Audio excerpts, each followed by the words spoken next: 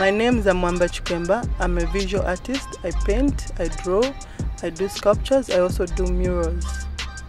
Recently, I've been painting murals in different parts of the world. I've been to Australia, South Africa, Madagascar, also Uganda. But I realized that my country does not have a lot of art in public spaces. So I came up with this initiative to paint murals in public spaces in my country. I decided to start with my community. I involved my young sister. Uh, I gave her an opportunity to experience the vibe of painting in the public space because she has always loved art.